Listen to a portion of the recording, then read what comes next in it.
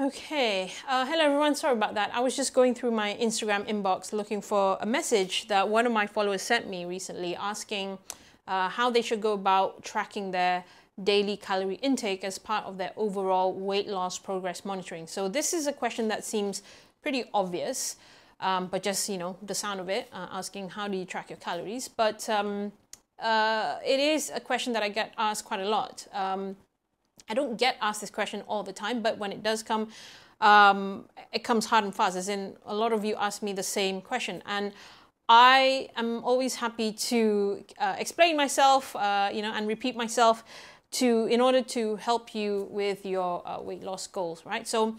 Uh, number one, it's good that you are asking me this question because this is perhaps the most important thing uh, for you to uh, start off with to understand the basic um, science behind uh, weight loss, right?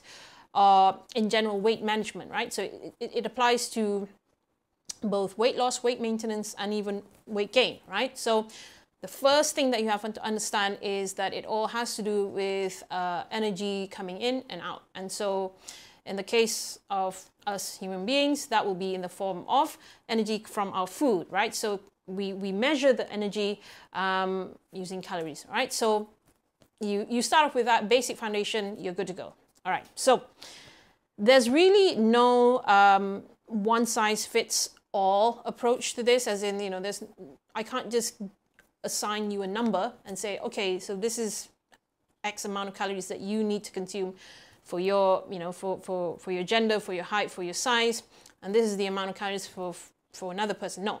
Um, simply put, it will depend on each individual because there are many variables and factors that come into play. So I want to try and make this video really short while not making a complete generalization uh, out of it, but I just want to give you a basic sort of template, right? So that then you can use this to then apply it uh, to your own um, your weight loss goals yeah, as you go through your, your progress and your journey. Okay, so basically to know how many, roughly to estimate how many calories that it is that you need, um, uh, you know, on, on a daily basis, that in terms of, in you know, if you want, if the goal is to lose weight, to achieve a, a deficit, okay, you need to know or be aware of these three things. Okay, number one is your BMR, which stands for your basal metabolic rate. And I remember having addressed this, and I've mentioned this quite a few times already in my previous posts and videos on YouTube. So I think some of you are already pretty familiar with this. All right, your basal metabolic rate um, is AKA um, your metabolic rate, right? So sometimes we just refer to it as your metabolism or your metabolic rate, but in essence, it is your basal metabolic rate. I'll define exactly what it is in a bit, right? The next thing that you need to be concerned with is NEAT, or otherwise known as, it stands for basically non-exercise activity thermogenesis. So the clue is in the name.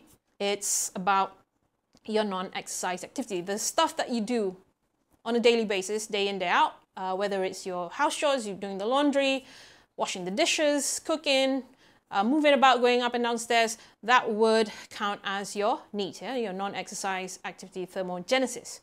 And the last one, the third one, is your exercise activity thermogenesis. And the reason why this is last is, well, out of the three, your exercise activity is going to be the least um, significant yeah, in terms of contribution of energy output or energy expenditure of your overall energy output daily.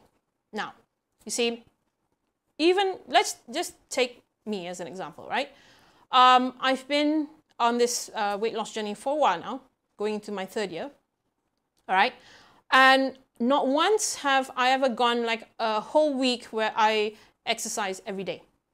Right. And even if I did exercise up to five, maybe at the most would be six times a week. All right. So that's um, out of the seven days a week, I, I work out almost every day, and that means once a day. Okay. Even when I'm working out almost every day, I only spend at the most an hour exercising. All right.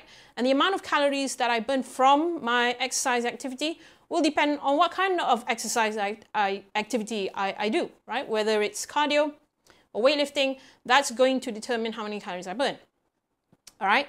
So out of the 24 hours of the day, I'm only spending a fraction of that period of that of that whole time doing exercise activity.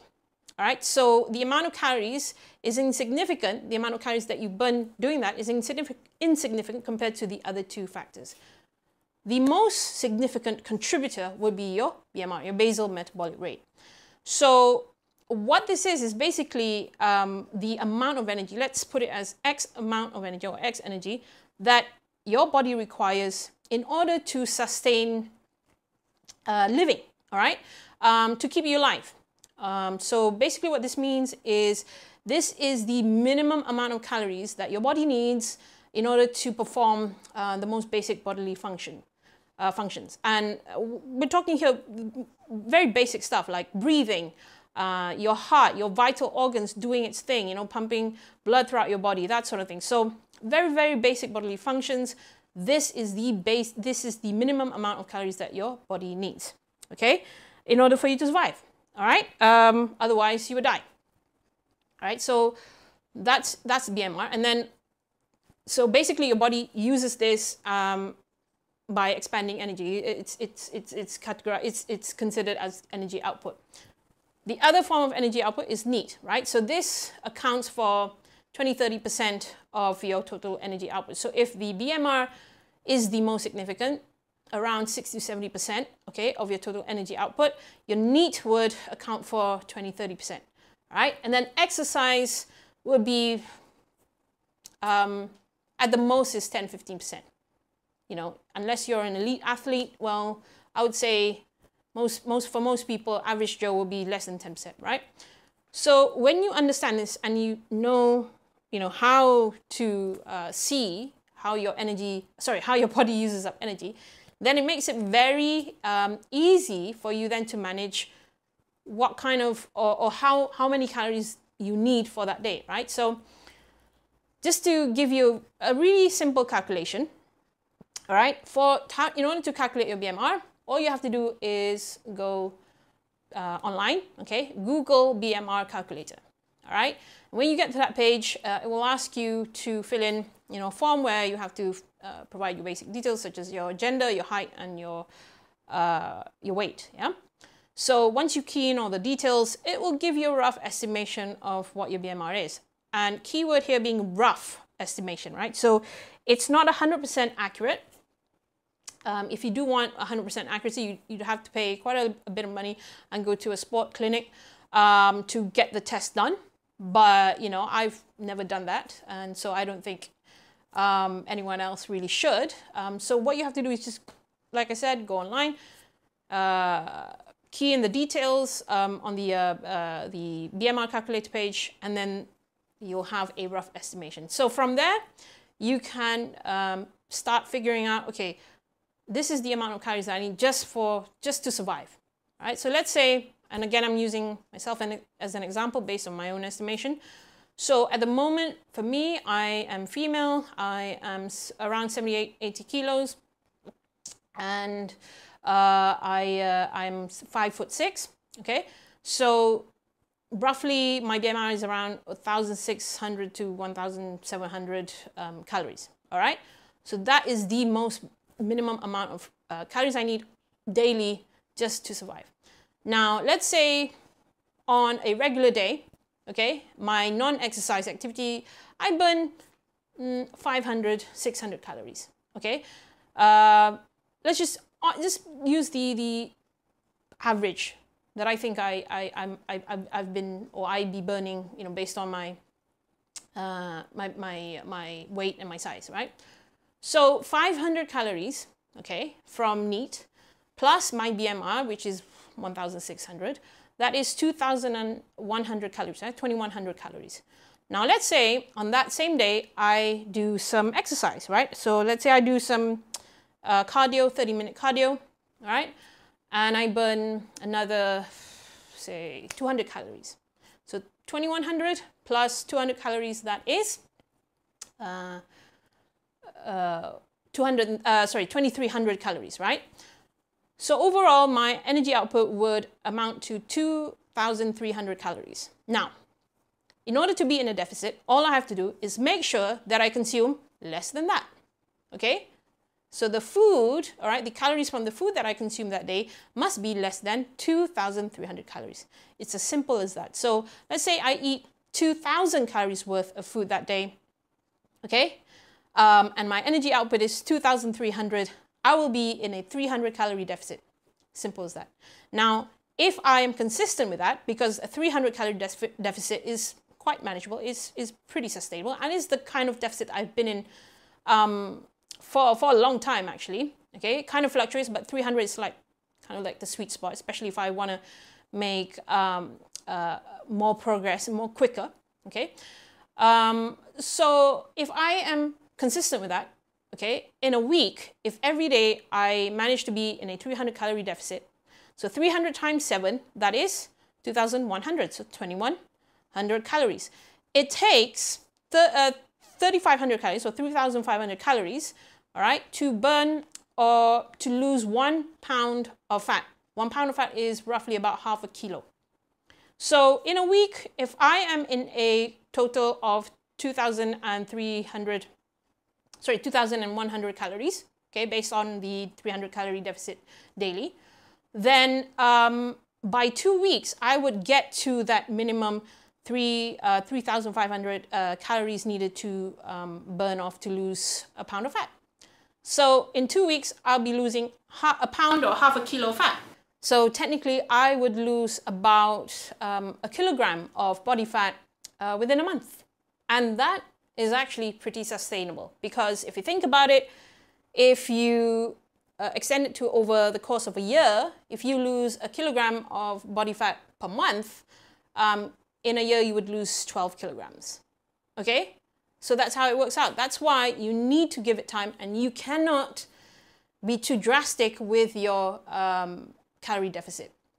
You see, the reason is it goes back to the BMR. All right? So BMR again is the basic or the minimum amount of uh, calories that you your, your body needs to just to survive. So imagine if you were on a very low uh, restrictive and low calorie diet. Let's say uh, you went really hard with your dieting and um, extreme and, and you know you went on this 600 calorie diet thing which you know is never going to work and it's not sustainable, right? But you do it anyways because you want you want quick results. Okay, so your BMR, let's say your BMR is 1,500 calories, and you go on a 600 calorie diet, right? You are starving yourself. That is to the point of basically malnourishment and starving yourself. So eventually, what happens is, yes, you will lose weight, and you will lose uh, weight really like fast. You know, you probably you could probably lose like 10 kilograms a month. But the inevitable is that at the end of it all, you're doing far more damage to your metabolism, all right, which then translates as your BMR in the future. Okay, so when you then eventually lose willpower, which you will, right? Even the most dedicated uh, people out there have, um, you know, a, a, finite amount of willpower. It will thin out and it will just finish in the end. When you lose that willpower, all right, and you start binging on the food that you missed out on because you were restricting yourself too much, you will gain the weight back a lot faster and more than the weight that you lost and the weight that you started off with in the beginning. So you'd end up heavier than you were before. Why? Because you damage your metabolism. Your metabolism has now gone down because you restrict yourself um, in terms of you know, you know calorie intake, and therefore your body thinks, oh well, you know this person is is uh, dying or starving, and so we got to hang on to uh, you know, the, the, the fat. We got to hang on to whatever we can in this body, conserve energy and, and not, you know, get this person moving so much. And in, in a way, what it has to do is to then lower your metabolism so that it can conserve the energy. Otherwise, you know, because it thinks you're dying and you're starving and being malnourished, therefore it thinks that, you know, your, your, your, your death is, is, is pending, right? So again, it's all about the body's way of ensuring survival. So that is why you need to be smart about it and not go to the extreme um, and, and be in too low of uh, a calorie deficit. And as long as you're consistent, all right, and you have to be consistent daily, weekly, monthly, all right, whatever it takes, eventually you will get there. Right? Like I said, even if you um, you know, over the course of a week, you're losing um, half, half, a, half a kilo or a pound of fat, that's way more than enough. In fact, losing one kilogram body fat a month is, is a lot. Trust me. You know, I, this coming from someone who has been consistently losing weight over the last three years. A kilogram of, of body fat a month. We're not even um, factoring in uh, water weight uh, and other uh, parts of your body composition, right? So just body fat alone, a kilogram a month, that's a lot. And so if you can sustain that, imagine in a year you would lose 12 kilograms.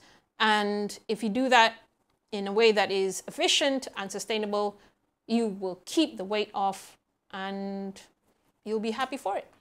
Right? And you'll never have to have to go through, you know, the same journey of having to lose the weight that you gain back as a result of your extreme and drastic uh, methods. Okay, so I hope this has kind of uh, made it uh, more clear for you, all right, or clearer. Um, and so just to sum up again, it's the three things, your BMR, your NEAT, your exercise activity. Those are the three things that contribute towards your energy output.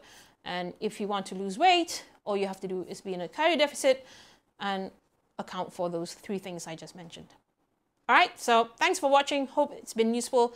Again, if you have any further questions you want to ask me, please feel free to um, DM me and I will try my best to help you as uh, best I can.